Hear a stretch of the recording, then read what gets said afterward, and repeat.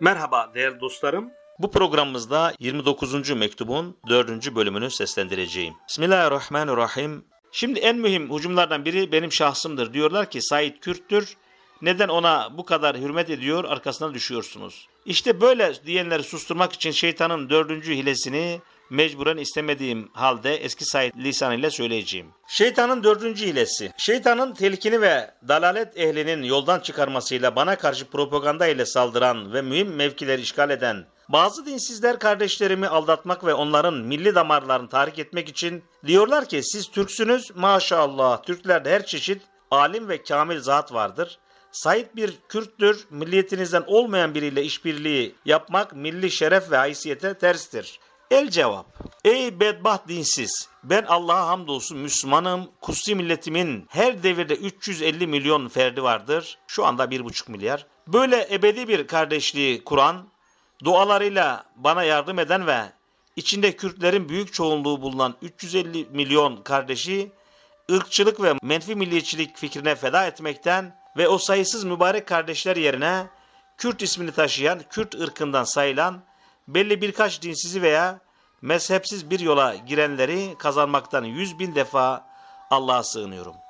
Ey dinsiz! Ancak senin gibi ahmaklar Macar kafirlerin veyahut dinsizleşmiş, frenkleşmiş birkaç Türk'ün geçici, dünyaca dahi faydasız kardeşliklerini kazanmak için 350 milyon hakiki nurani faydalar sağlayan bir cemaatin baki kardeşliğini terk eder. 26. mektubun 3. meselesinde menfi milliyetçiliğin mahiyetini ve zararlarını delilleriyle gösterdiğimizden konuyu ona havale edip yalnız o kısmın sonunda özetlenen bir hakikati burada bir derece açıklayacağız. Türkçülük perdesi altına giren ve hakikatte Türk düşmanı olan hamiyet yani dini ve milli haysiyet sahibi görünmeye çalışan o dinsizlere derim ki, İslam milletiyle ebedi ve hakiki bir kardeşlikle Türk denilen bu vatanın müminleriyle de şiddetli ve pek hakiki bir şekilde alakadarım. Bin seneye yakın Kur'an'ın bayrağını cihanın her tarafında zaferlerle gezdiren bu vatanın evlatlarına İslamiyet adına iftihar ederek ve taraftar olarak muhabbet besliyorum. Sen ise ey hamiyet sahibi görünmeye çalışan sahtekar, Türk'ün hakiki milli iftihar kaynağını unutturacak bir şekilde mecazi ırkçılığa dayanan, geçici ve kin güden bir kardeşliğin var. Sana soruyorum, Türk milleti yalnız 20 ile 40 yaş arasındaki gafil ve hevesli gençlerden mi ibarettir? Hem onlar için faydalı olan ve haklarında milli hamiyetin gerektirdiği hizmet, yalnız gafletlerini artıran, onları ahlaksızlıklara alıştıran ve dinen yasak şeylere cesaret veren Frank meşrep terbiyede midir? Ve onları ihtiyarlıkta ağlatacak olan geçici bir şekilde güldürmekte midir? Eğer milli şeref ve haysiyet bunlardan ibaretse, ileri ve mesut hayat bu ise, evet sen böyle Türkçü ve böyle milliyetçi isen, ben o Türkçülükten kaçıyorum, sen de benden kaçabilirsin. Zerre kadar hamiyetin, şuurun ve insafın varsa şimdiki şu sınıflandırmaya bak, cevap ver. Şöyle ki, Türk milleti denilen şu vatan evladı altı kısımdır. Birinci kısım salih kimseler ve takva sahipleridir. İkinci kısım musibete uğramışlar ve hastalardır. Üçüncü kısım ihtiyarlardır. Dördüncü kısım çocuklardır. Beşinci kısım fakirler ve zayıflardır. Altıncı kısım ise gençlerdir. Acaba ilk beş kısım Türk değil mi? Onların milli ve şeref ve haysiyetten hisseleri yok mu? Acaba altıncı kısma sarhoşça bir keyif vermek yolunda o beş zümreyi incitmek, keyiflerini kaçırmak, tesellilerini kırmak, milli hamiyet mi yoksa bu millete düşmanlık mıdır? El hükmü lil ekser. Sırrınca çoğunluğa zararı dokunan düşmandır, dost değil. Sana soruyorum, birinci kısım olan müminlerin ve takva sahiplerinin en büyük menfaati Frank meşrep bir medeniyette midir? Yoksa iman hakikatlerinin nurlarıyla ebedi saadeti düşünüp çok arzu duydukları, aşık oldukları hak yolunda gitmekte ve hakiki teselli bulmakta mıdır? Senin gibi dalalette giden sözde hamiyet sahiplerinin tuttuğu yol, takva sahibi müminlerin manevi nurlarını söndürüyor. Hakiki tesellilerini bozuyor, ölümü ebedi yokluk ve kabri daimi sonsuz bir ayrılık kapısı olarak gösteriyor. İkinci kısım olan musibete uğramışların, hastaların ve hayatından ümidi kesmiş kimselerin menfaati, Frank meşrep bir şekilde dinsizce medeniyet terbiyesine midir? Halbuki o biçareler bir nur, bir teselli istiyor, musibetlerine karşılık bir mükafat istiyor, kendilerine zulmedenlerden intikamlarını almak ve yaklaştıkları kabir kapısındaki dehşeti defetmek istiyor. Sizin gibiler sahtekarca hamiyetinizde çok şefkate, okşanmaya layık ve muhtaç o biçare musibetsedelerin kalbine iğne batırıyor. Başlarına tokmak vuruyorsunuz, merhametsizce ümitlerini kırıyor, onları mutlak bir ümitsizliğe düşürüyorsunuz. Milli şeref ve haysiyet bu mudur? Millete böyle mi faydanız dokunuyor? Üçüncü kısım olan ihtiyarlar milletin üçte birini meydana getiriyor. Bunlar kabre, ölüme yaklaşıyor, dünyadan uzaklaşıyor, ahirete yanaşıyorlar. Böylelerin menfaati, nuru ve tesellisi, Hulagü ve Cengiz gibi zalimlerin gaddarca maceralarını dinlemekte midir? Ve ahireti unutturacak, onları dünyaya bağlayacak neticesiz, manen alçalma olan, görünüşte ise yükselme ve ilerleme denilen şimdiki tarzda hareketinizde midir? Ahirete ait nur sinemada mıdır? Ve hakiki teselli tiyatroda mıdır? Bu biçare ihtiyarlar hamiyetten hürmet isterken onları manevi bir bıçakla kesmek hükmündedir. Ebedi idama, yokluğa sevk ediliyorsunuz. Fikrini vermek ve rahmet kapısı olarak düşündükleri kabir kapısını ejderha ağzına çevirmek, manevi kulaklarına sen oraya gideceksin diye üflemek, milli hamiyet ise böyle hamiyetten yüz bin defa Allah'a sığınırız. Dördüncü kısım çocuklardır. Onlar milli hamiyetten merhamet ister, şefkat bekler. Onların da zayıflık, aciz ve kuvvetsizlikleri noktasında merhametli, kudretli bir haliki bilmekle ruhları ferahlayabilir, kabiliyetleri mesut bir şekilde açığa çıkıp gelişebilir. İleride dünyadaki müthiş korkulara ve durumlara karşı koyabilecek imandan gelen bir tevekkül ve İslam'ın verdiği teslimiyetin telkinleriyle o masum hayata istekli bakabilirler. Acaba bu alakalarının pek az olduğu ileri medeniyet derslerini manevi kuvvetini kıracak, ruhlarını söndürecek, nursuz sırf maddi felsefe düsturlarını öğrenmekle mi olur? Eğer insan bir cesetten ibaret olsaydı ve kafasında akıl bulunmasaydı belki o masum çocukları bir derece eğlendirecek, medeni terbiye dediğiniz o milli terbiye süsü verdiğiniz bu Frank usulü onlara çocukça bir oyuncak olarak dünyevi bir menfaat sağlayabilirdi. Madem ki o masumlar hayatın telaş ve sıkıntılarına atılacaklar ve madem ki insandırlar, elbette küçük kalplerinde çok uzun arzuları olacak ve küçük kafalarında büyük maksatlar doğacak. Madem hakikat böyledir, onlara şefkatin gereği olarak son derece fakir ve azizlerine gayet kuvvetli bir dayanak noktasını ve tükenmez bir yardım kaynağını kalplerinde Allah'a ve ahirete iman suretinde yerleştirmek lazımdır. Onlara şefkat ve merhamet bulunlu olur. Aksi divane bir annenin çocuğunu bıçakla kesmesi gibi milli şeref ve haysiyet sarhoşluğuyla o biçare masumları manen boğazlamaktır. Bedenini beslemek için beynini ve kalbini çıkarıp ona yedirmek gibi vahşice bir merhametsizlik bir zulümdür. Beşinci kısım fakirler ve zayıflardır. Acaba hayatın ağır yükümlülüklerini elem verici bir şekilde taşıyan fakirlerin, hayatın müthiş telaş ve sıkıntıları karşısında çok üzülen, bunların tesiri altında kalan zayıfların milli şeref ve haysiyetten hisseleri yok mudur?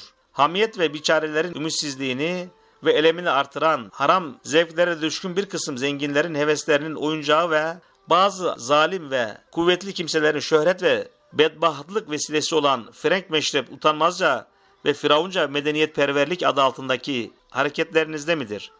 Bu biçare fakirlerin yarasına merhem ırkçılık fikrinden değil, aksine İslamiyet'in kutsi eczanesinden çıkarılabilir. Zayıfların kuvveti ve haksızlığa karşı dayanma gücü, karanlık ve tesadüfe bağlı şuursuz, tabiatçı felsefeden değil, İslami hamiyetten ve kutsi İslam milliyetinden alınır. Altıncı kısım gençlerdir. Gençlikleri eğer daimi olsaydı, menfi milliyetçilikle içirdiğiniz şarabın onlara geçici bir menfaati, bir faydası dokunurdu. Fakat gençliğin lezzetli sarhoşluğundan ihtiyarlıkta elemle ayılmaları ve o tatlı uykudan ihtiyarlık sabahında acı ve pişmanlıkla uyanmalarıyla o şarabın verdiği baş ağrısı ve sıkıntı onları çok ağlatacak. O lezzetli rüyanın bitmesindeki elem çok hazin bir şekilde üzecek. Eyvah hem gençlik hem ömür gitti.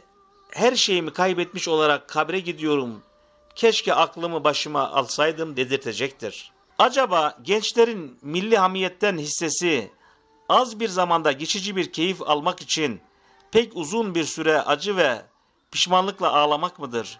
Yoksa onların dünya saadeti ve hayat lezzeti güzel, şirin, gençlik nimetinin şükrünü yerine getirerek o fani gençlik nimetini haram zevk ve eğlencelerle değil, istikamet yolunda sarf etmekle ve ibadetle manen baki kılmakta mıdır? Saadet yurdu olan ahirette ebedi bir gençlik kazanmakta mıdır? Zerre kadar şuurun varsa söyle. Kısacası eğer Türk milleti yalnız 6. kısımdaki gençlerden ibaret olsa, onların da gençlikleri daimi kalsa ve dünyadan başka yerleri bulunmasa, sizin Türkçülük perdesi altındaki Frank meşrep hareketleriniz milli hamiyetten sayılabilirdi. O zaman benim gibi dünya hayatına az kıymet veren, ırkçılık fikrini frengi illeti gibi bir hastalık gören gençleri gayrimeşru keyif ve heveslerden men etmeye çalışan, başka memlekette dünyaya gelmiş bir adam hakkında o Kürttür arkasına düşmeyiniz diyebilirdiniz ve bunu demeye hakkınız olurdu. Fakat madem Türk adı altındaki şu vatan evladı daha önce ifade edildiği gibi altı kısımdır beş kısma zarar vermek, onların keyfini kaçırmak ve yalnız bir tek kısma geçici, dünyevi ve sonu uğursuz bir keyif sağlamak, belki onları sarhoş etmek elbette Türk milletine dostluk değil, düşmanlıktır. Evet ben ırkça Türk sayılmıyorum fakat Türklerin takva sahibi olanlar, musibete uğramışlar, ihtiyarlar, çocuklar, zayıflar ve fakirler zümresi için bütün kuvvetimle, tam bir şevkle, şefkatli bir şekilde kardeşçe çalışmışım ve çalışıyorum. Altıncı kısım olan gençleri de dünya hayatını zehirleyecek, ahiret hayatını mahvedecek ve bir saat gülmeye bedel bir sene ağlamayı netice veren gayrimeşru hareketlerden vazgeçirmek istiyorum. Yalnız bu 6-7 sene değil belki 20 senedir Kur'an'dan alıp Türkçe neşrettiğim eserler meydandadır. Evet Allah'a hamdolsun Kur'an hakimin nurlar madeninden alınan eserlerle ihtiyarların en çok istedikleri nur gösteriliyor. Musibete uğramışlara ve hastalara panzehir gibi en faydalı ilaçlar Kur'an'ın kutsi eczanesinde gösteriliyor. İhtiyarları en çok düşündüren kabir kapısının rahmet kapısı olduğu, idam kapısı olmadığı o Kur'an nurlarıyla gösterildi. Çocukların nazik kalplerinde sayısız musibete ve zararlı şeylere karşı gayet kuvvetli bir dayanak noktası, sınırsız amel ve arzularını tatmin edecek bir yardım kaynağı, Kur'an hakimin madeninden çıkarıldı. Gösterildi ve ondan bil fiil faydalanmaları sağlandı. Ve fakirler, zayıflar zümresini en çok üzen hayatın ağır yükümlülükleri Kur'an hakimin iman hakikatleriyle hafifletildi. İşte bunlar Türk milletinin altı kısmından beşidir. Menfaatleri için çalışıyoruz. Altıncı kısım gençlerdir. Onların iyilerine karşı ciddi kardeşlik hissimiz var. Senin gibi dinsizlerle hiçbir şekilde dostluğumuz yok. Çünkü dinden çıkanları ve Türk milletinin iftihar ettiği bütün hakiki unsurları taşıyan İslam milletinden ayrılmak isteyenleri Türk saymıyor. Türk perdesi altında girmiş Frank olarak görüyoruz. Yüz bin defa Türkçüyüz deyip dava etseler hakikat ehlini kandıramazlar. Zira fiilleri, hareketleri onların davasını yalanlıyor. İşte ey Frank meşrepler ve propagandayla hakiki kardeşlerimi benden soğutmaya çalışan dinsizler. Bu millete faydanız nedir? Beşinci kısım olan takva sahiplerinin ve salih kimselerin nurunu söndürüyorsunuz. Merhamet ve okşanmaya layık ikinci kısmın yaralarına zehir serpiyorsunuz. Hürmete çok layık olan üçüncü kısmın tesellisini kırıyor, onları mutlak bir ümitsizliğe atıyorsunuz. Şefkate çok muhtaç dördüncü kısmın manevi kuvvetini tamamen kırıyor ve hakiki insanlığını söndürüyorsunuz. Ve yardıma teselliye çok muhtaç olan beşinci kısmın ümitlerini, yardım isteklerini neticesiz bırakıp onlar için hayatı ölümden daha dehşetli bir hale çeviriyorsunuz. İkaza ve ayrılmaya çok muhtaç olan altıncı kısmada gençlik uykusu içinde öyle bir şarap içiriyorsunuz ki o şarabın verdiği baş ağrısı pek elemli, pek dehşetlidir. Acaba milli hamiyetiniz bu mudur ki uğrunda pek çok mukaddes değeri feda ediyorsunuz? O Türkçülüğün Türklere faydası bu şekilde midir? Ondan yüz bin defa Allah'a sığınırız. Ey efendiler! Bilirim ki hak noktasında mağlup olduğunuz zaman kuvvete müracaat edersiniz kuvvetin hakta olması, hakkın kuvvette olmaması sırrıyla dünyayı başıma ateş yapsanız Kur'an hakikatine feda bu baş size eğilmeyecektir. Hem size şunu da haber veriyorum ki değil sizin gibi sayılı, milletin gözünde manen nefret edilen bir kısım adamlar belki böyle binlercesi bana maddi düşmanlık etse önemsemeyeceğim ve onlara bazı zararlı hayvanlardan daha fazla kıymet vermeyeceğim. Çünkü bana karşı ne yapacaksınız Yapacağınız iş ya hayatıma son vermek ya da hizmetimi bozmak olur. Bu ikisinden başka dünyayla alakam yok. Hayatın başına gelen ecel gözle görür derecede kesin inanmışım ki değişmiyor. Kaderle takdir edilmiştir. Madem öyledir, hak yolunda şehadet ile ölmekten değil, çekinmek bunu büyük bir arzuyla bekliyorum. Bilhassa ben ihtiyarladım, bir seneden fazla zor yaşayacağımı düşünüyorum. Görünüşteki bir sene ömrü şehadet vasıtasıyla kazanılan sonsuz, baki bir ömürle değiştirmek benim gibilerin en yüce bir maksadı gayesi olur. Kur'an ve iman hizmetinde ise hamdolsun Cenab-ı Hak rahmetiyle bana öyle kardeşler vermiş ki vefatım ile o hizmet bir yerine çok merkezde yapılacak. Dilim ölümle susturulsa bile pek çok kuvvetli dil benim yerime konuşur. O hizmeti devam ettirir hatta diyebilirim ki nasıl bir tohum toprak altına girip ölmekle bir sümbülün hayatını netice verir, bir taneye bedel yüz tane vazife başına geçer, aynen öyle de ölümüm o hizmete hayatımdan daha fazla vesile olur ümidini besliyorum. Şeytanın beşinci hilesi. Dalalet ehlinin taraftarları enaniyetten yani benlik ve gururdan istifade edip kardeşlerimi benim yanımdan çekmek istiyorlar. Hakikaten insanda en tehlikeli damar enaniyettir ve insanın en zayıf damarı da odur. Onu okşamakla bir insana çok fena şeyleri yaptırabilirler. Ey kardeşlerim dikkat ediniz sizi enaniyette vurmasın, onunla avlamasınlar. Hem biliniz ki şu asırda dalalet ehli benlik ve gurura binmiş, dalalet vadilerinde koşuyor. Hak ehli ancak benliği ve gururu terk etmekle hakka hizmet edebilir. Benliğini öne çıkarmakta ve gururlanmakta haklı bile olsa madem ki ötekilere benzer ve onlar da onu kendileri gibi nefsine düşkün zannederler,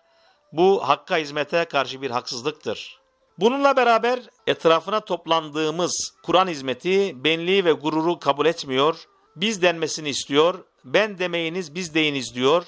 Elbette kanaat getirmişsinizdir ki bu fakir kardeşiniz meydana enaniyet ile çıkmamış, sizi benliğine hizmetkar yapmıyor, belki enaniyetsiz bir Kur'an hizmetkarı olarak şahsını size göstermiş, kendini beğenmemeyi ve benliğine taraftar olmamayı yol kabul etmiş. Hem kesin deliller size ispatlamıştır ki istifade için ortaya konulan eserler herkesin malıdır. Yani Kur'an-ı Hakim'den süzülüp gelmiştir. Hiç kimse enaniyetiyle onları sahiplenemez. Haydi farz-ı muhal ben o eserlere sahip çıkıyorum. Bir kardeşimin dediği gibi madem bu Kur'an-ı Hakikat kapısı açıldı, İlim ve kemal sahipleri benim noksanlığıma ve önemsizliğime bakmadan arkamda bulunmaktan çekinmemeli ve kaçınmamalıdırlar. Selefi salihinin ve hakikati araştırıp delilleriyle bilen alimlerin eserleri gerçi her derde deva büyük birer hazinedir fakat bazı zaman olur ki bir anahtar bir hazineden daha önemlidir. Çünkü hazine kapalıdır fakat bir anahtar çok hazineyi açabilir. Zannederim ki ilimden gelen enaniyeti fazla olan zatlar da şunu anladılar. Neşredilen sözler Kur'an hakikatlerinin birer anahtarı ve o hakikatleri inkar etmeye çalışanların başına inen birer elmas kılıçtır. Fazilet sahibi, kamil ve ilimden gelen kuvvetli bir enaniyeti taşıyan o zatlar bilsin ki, bana değil Kur'an hakime talebe oluyorlar, ben de onların bir ders arkadaşıyım. Haydi farz-ı muhal ben üstadlık dava etsem, madem şimdi avamdan havas tabakaya kadar müminleri, düştükleri vehim ve şüphelerden kurtarmanın çaresini bulduk, o alimler ya daha kolay bir çare bulsun ya da bu çareyi gerekli görüp ders versin. Ona taraftar olsunlar. İlmini kötü gayeler ve çıkarları için kullanan alimler hakkında büyük bir tehdit var. Bu zamanda ilim ehli çok dikkat etmeli. Haydi diyelim ki düşmanlarımızın zannettiği gibi ben benlik hesabına böyle bir hizmette bulunuyorum. Acaba dünyevi ve milli bir maksat için pek çok kişi enaniyeti terk edip tam bir sadakatle Firavun meşref bir adamın etrafına toplanarak sağlam bir dayanışmayla iş gördükleri halde bu kardeşinizin kendi enaniyetini gizlemekle beraber o dünyevi komitenin onbaşıları gibi enaniyeti terk ederek Kur'an hakikatleri etrafında bir dayanışmayı sizden istemeye hakkı yok mudur? Sizin en büyük alimleriniz de ona lebbeyk demekte haksız değiller midir? Kardeşlerim, enaniyetin işimizde en tehlikeli tarafı kıskançlıktır. Eğer sırf Allah için olmazsa kıskançlık işimize müdahale eder, onu bozar. Nasıl ki bir insanın bir eli diğerini kıskanmaz, gözü kulağına haset etmez, ve kalbi aklıyla rakip olmaz.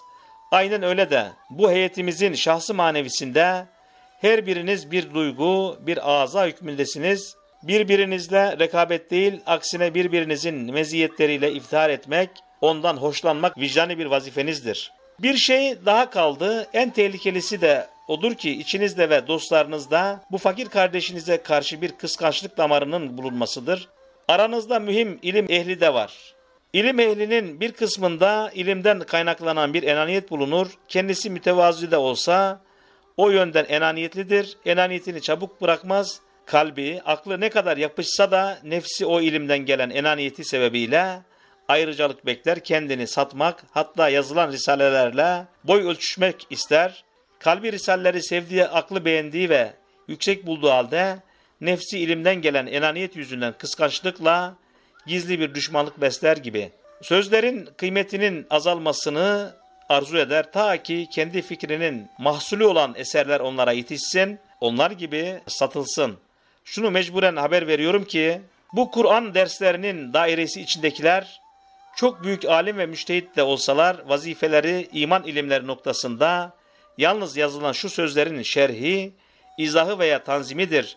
Çünkü çok emareyle anlamışız ki bize bu iman ilimlerinde fetva vazifesi verilmiş. Eğer biri dairemiz içinde nefsin ilimden kaynaklanan enaniyetten aldığı bir hisle şerh ve izah dışında bir şey yazsa soğuk bir karşı gelme veya noksan bir taklitçilik hükmüne geçer. Çünkü çok delil ve emareyle şu hakikat ortaya çıkmış ki Risale-i Nur eczaları Kur'an'dan süzülüp gelmiştir. Her birimiz iş bölümü kaidesiyle birer vazife üstlenip o abu hayat sızıntılarını muhtaç olanlara yetiştiriyoruz.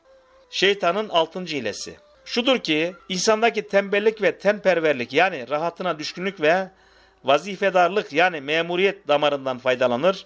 Evet insan ve cin suretindeki şeytanlar her yönden hücum eder. Arkadaşlarımızdan kalbi sağlam, sadakati kuvvetli, niyeti ihlaslı, himmeti yüksek olanları gördükleri vakit başka noktalardan saldırırlar. İşimizi sekteye uğratmak ve hizmetimize usanç verdirmek için onların tembelliklerinden, rahata düşkünlüklerinden ve vazifeli olmalarından faydalanırlar. Onları öyle hilelerle Kur'an hizmetinden alıkoyuyorlar ki Kur'an hizmetine vakit bulamasın diye haberleri olmadan bir kısmına fazla iş buluyorlar. Bir kısmına da dünyanın cazibeli şeylerini gösteriyorlar ki hevesleri uyansın, hizmete karşı bir gaflet gelsin vesaire. Bu hücum yollarını anlatmak uzun sürer. Kısa keserek dikkatli anlayışınıza havale ediyoruz. Ey kardeşlerim, dikkat ediniz, vazifeniz kutsidir, hizmetiniz ulvidir. Her bir saatiniz bir gün ibadet hükmüne geçebilecek kıymettedir. Biliniz ki elinizden kaçmasın. Kutsi bir tarihçe. Kur'an-ı Hakim'in icazının mühim bir sırrının göründüğü senenin tarihi yine Kur'an kelimesindedir şöyle ki. Kur'an kelimesi ebced hesabıyla 351'dir. İçinde iki elif var. Gizli elif elfün okunursa bin manasındaki elfündür. Demek 1351 senesine Kur'an senesi denilebilir. Çünkü Kur'an kelimesindeki tevafukların hayret verici sırrı Kur'an'ın tefsiri olan Risale-i Nur eczalarında o sene göründü. Kur'an'daki lafzı celalin yani Allah lafzının icazlı mucizevi tevafuk sırrı aynı sene ortaya çıktı. Bir icaz nakşını gösterecek bir Kur'an'ın yeni tarzda yazılması aynı sene oldu. Kur'an yazısının değiştirilmesine karşı Kur'an talebelerinin bütün kuvvetleriyle onu muhafaza etmeye çalışması aynı senededir. Kur'an'ın icazının verdiği mühim zevkler aynı senede görünüyor. Hem aynı sene Kur'an ile çok münasebetli hadiseler olmuş ve olacak gibi. Altıncı risale olan altıncı kısmın zeyli. Esile-i Sitte, altı soru. Şu mahrem zeyil istikbalde gelecek nefret ve hakaretten sakınmak için yani tüh o asrın gayresiz adamlarına denildiği zaman tükürüklerin yüzümüze gelmemesi veyahut onları silmek için yazılmıştır. Avrupa'nın insaniyetperver, hümanist maskesi altındaki vahşi reislerinin sağır kulakları çınlasın. Bu vicdansız gaddarları bize musallat eden o insafsız zalimlerin görmeyen gözlerine sokulsun. Bu asırda yüz bin sebeple yaşasın cehennem dedirten mimsiz medeniyete sevdalıların başına vurulmak için yazılmış bir arzu haldir. Bismillahirrahmanirrahim. Ve ma lena ella netevekkele alallah ila ahiril ayet. Bu yakınlarda dinsizlerin perde altında tecavüzleri gayet çirkin bir hal aldığından çok çaresiz müminlere yaptıkları zalimce ve dinsizce tecavüze benzer şekilde hususi ve gayri resmi olarak kendim tamir ettiğim mabedimde bana ve bir iki hususi kardeşimle hususi ibadetimize, gizli ezan ve kâmetimize müdahale edildi. Niçin Arapça kâmet getiriyorsunuz ve gizli ezan okuyorsunuz denildi. Susmaktan sabrım tükendi. Konuşmak mümkün olmayan öyle vicdansız alçaklara değil, belki keyfi baskı ve zulümle milletin kaderiyle oynayan Firavun Meşrep komitenin başlarına derim ki, Ey bidatçılar ve dinsizler! Altı soruma cevap isterim.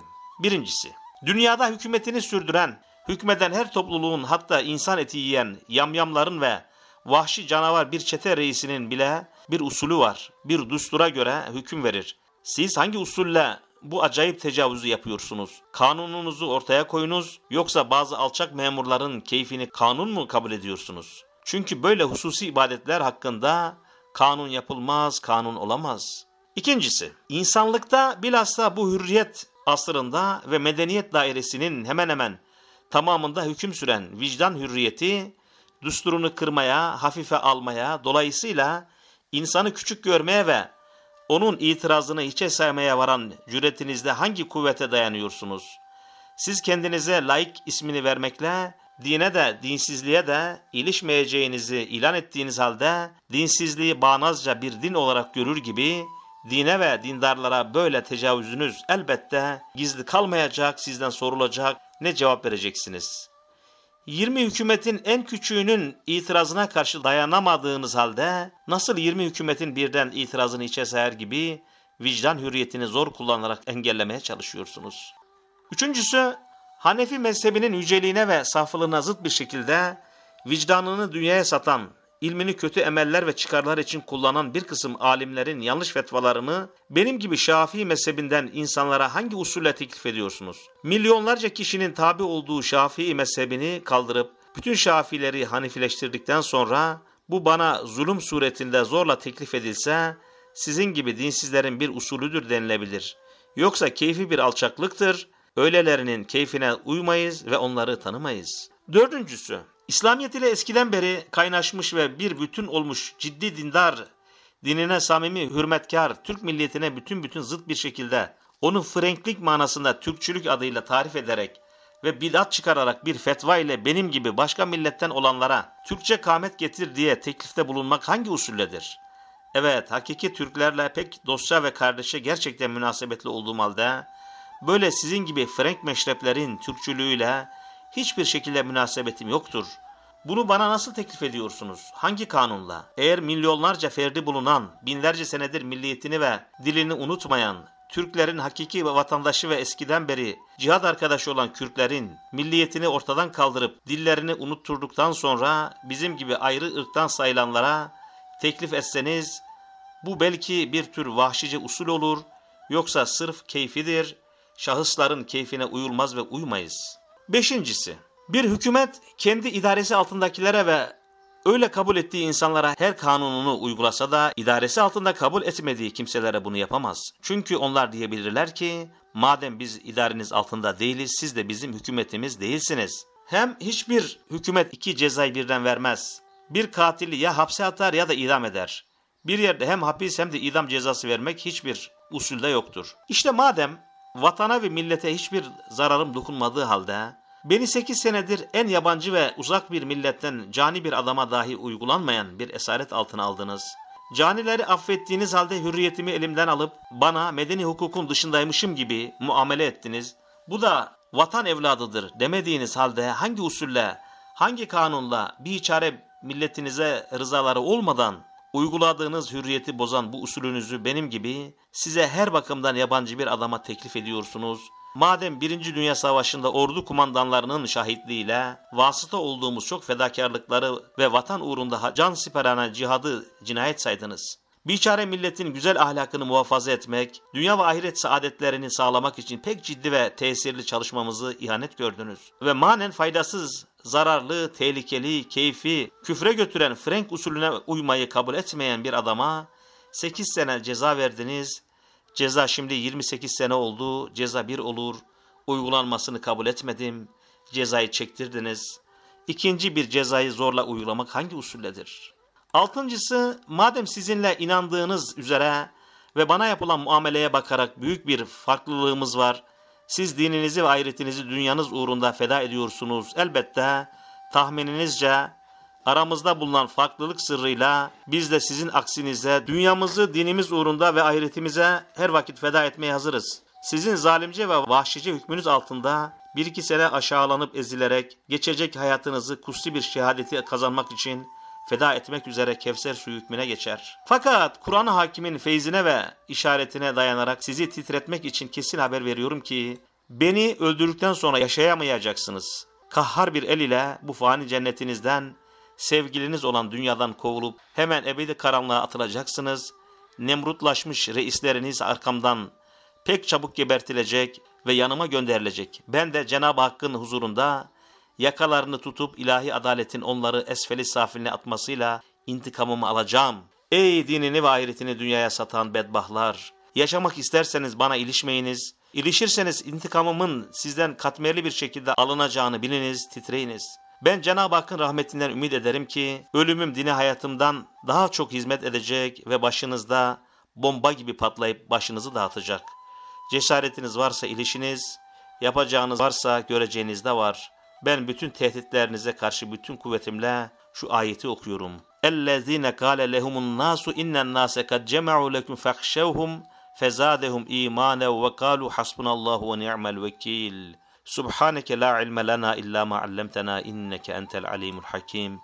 Velhamdülillahi rabbil alemin. Bu tür programların devam etmesini ve faydalı olmasını istiyorsanız kanalımıza abone olup bildirimleri açmayı unutmayınız ve dostlarınıza tavsiye ediniz.